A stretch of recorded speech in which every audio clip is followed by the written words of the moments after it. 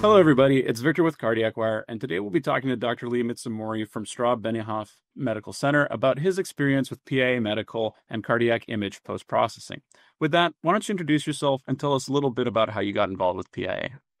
Oh, hi, Victor. Yeah, thanks a lot. Yeah, so um, I was um, at the University of Washington as a resident and then a fellow. And during my fellowship, I got the chance to spend some time with um, Jeff Rubin at Stanford and got really interested into post processing. So I spent time at their 3D post processing lab, and I wanted to bring sort of that type of clinical service back to the University of Washington. Um, after my fellowship, I stayed on as, as a staff radiologist, and then began um, had an interest in cardiovascular imaging. So this was back in the early 2000s, which unfortunately really dates me, but so back then, the first thing we applied post processing to was for um, aortic aneurysm endograft placements, and so with with that start, um, we then got into cardiac imaging, and so that was kind of in the beginning days of cardiac MRI. And so my myself and another colleague, we actually were the ones that kind of started cardiac MRI, cardiac CT at our institution, and in the beginning, we had access to the vendor's post processing software. So, you know, we, it was, you know, up to us to learn how to do the post processing, what was appropriate. And it was, you know, it was a lot of fun, but it did take a lot of time. So, you know, in about a year or two, we did feel pretty comfortable with what we were doing at that time. And at a, as an academic institution, you know, our one of our uh, missions was to train our our residents and fellows. So back then, the residents and fellows and teaching them how to do post processing was a big part of our our educational mission and our clinical service. And but that did take a lot of time. So that was kind of how I initially was involved with post processing and cardiac imaging. And later on, uh, several years later, I got introduced to PIA as um, a possible research partnership. And shortly thereafter, unfortunately, I, I had to, I left the university and I, I took a, a private practice position um, back home in my state of Hawaii. And so when I came back to my uh, new place of work, there was no cardiac imaging. So I would be the, you know, the, the only person to know how to do cardiac imaging.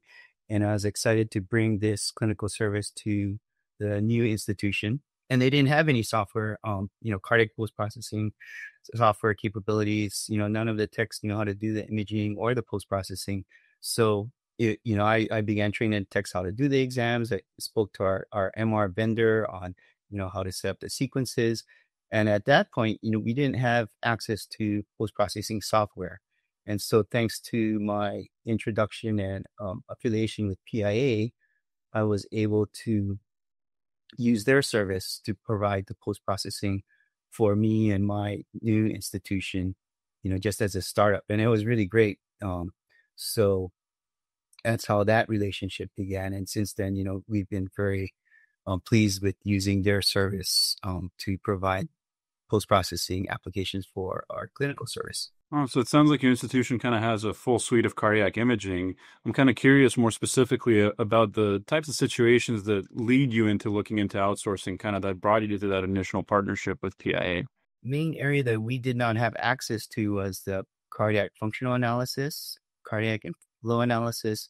And so that's where when we started cardiac imaging at my new site, uh, we would do the cardiac exams and then communicate with PIA, and then they would do the cardiac functional analysis for us.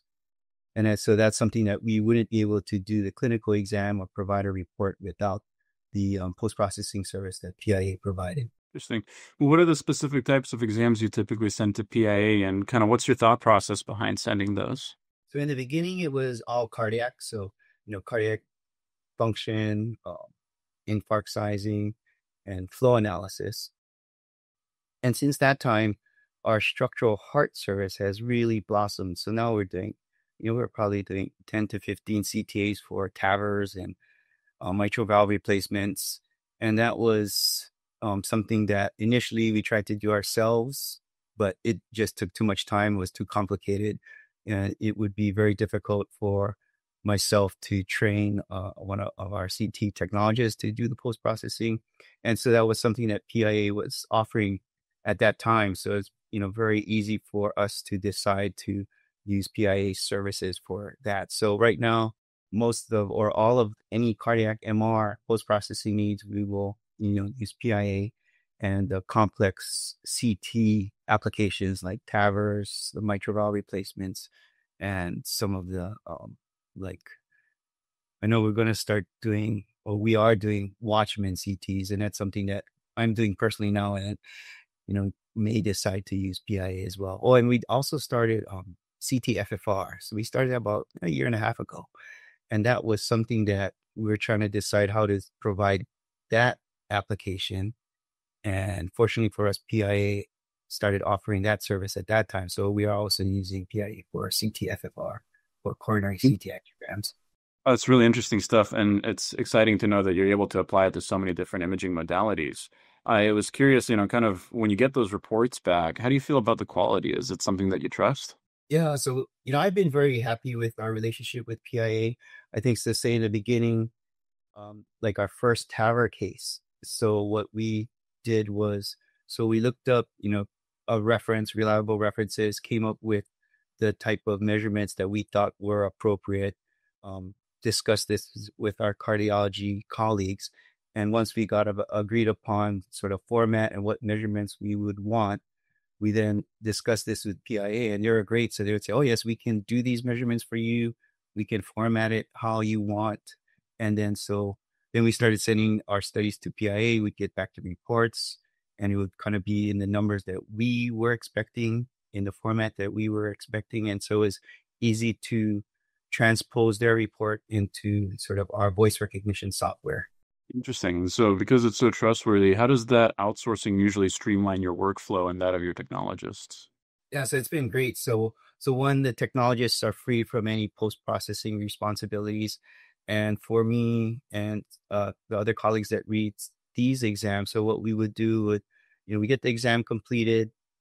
Um, we'll ask our technologist to send the study over to PIA and alert PIA that the study is being sent and what type of study is, and then I would read the clinical part and all the qualitative, put that in my report, not sign it off yet.